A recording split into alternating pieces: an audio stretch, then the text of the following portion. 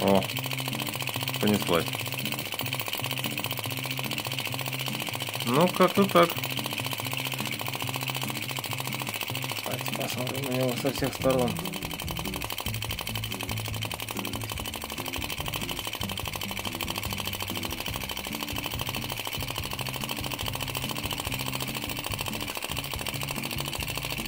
Работает достаточно тихо.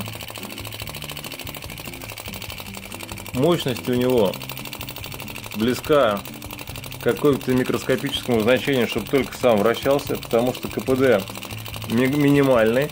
А Спиртовка греет воздух, и только крохотный кусочек пламени попадает э, в камеру сгорания.